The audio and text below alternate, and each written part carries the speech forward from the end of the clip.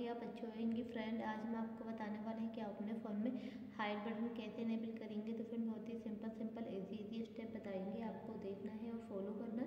Video की पूरी जानकारी लेने के लिए वीडियो आपको ज़रूर देखना। अगर फ्रेंड आपने हमारे चैनल को सब्सक्राइब नहीं किया है तो बेल आइकन को दबाइए। चैनल को सब्सक्राइब कीजिए। फ्रेंड आपको ऑप्शन देखने मिलता फ़ोन में सेटिंग सेटिंग को ओपन कर लेना। ओपन करने के बाद में इस प्रकार का इंटरफेस ओपन हो जाएगा। यहाँ आपको ऑप्शन देखने में आता है।